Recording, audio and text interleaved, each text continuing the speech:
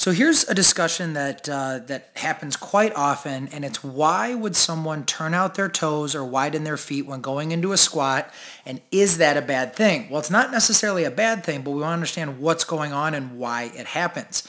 So generally, not generally, when we go into a squat, the femurs are going to internally rotate within the movement. So as we go down into the squat, those femurs are internally rotating, so turning inside as we go down through that motion.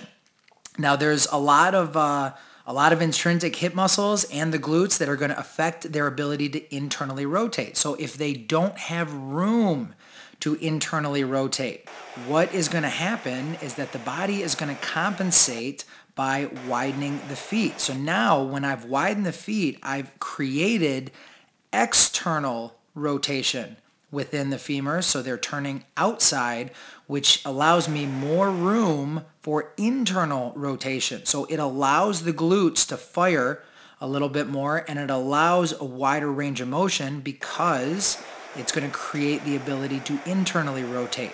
What we want to make sure though is that under body weight conditions that the body has enough mobility to go through a full range of motion squat without having to turn the toes out or widen the feet. Now, if you can do that, then turning the toes out and widen the feet turns into an opportunity for more glute recruitment. So if you're trying to go for heavy, heavy squats, it can be a great thing. But first, we want to make sure that we can maintain leverage and control the movement through body weight only.